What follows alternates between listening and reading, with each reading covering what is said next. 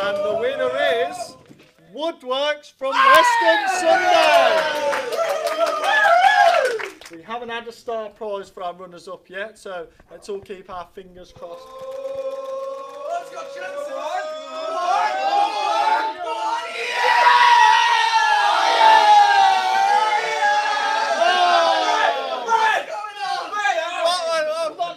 not sure what we're going to go with there. Let's have a vote in the office. Who thinks it should be that? No. No.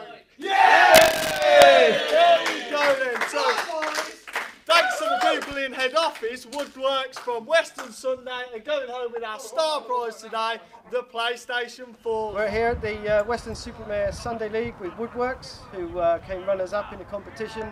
They chose to take the uh, entry to the draw and they won the star prize of the PS4. Good night. Chris, well done. Take that Andy. with you. And that's your PS4 there. Good Wow, night. that was Come on. Coming home. oh, Yeah, I didn't win it. on the PS4.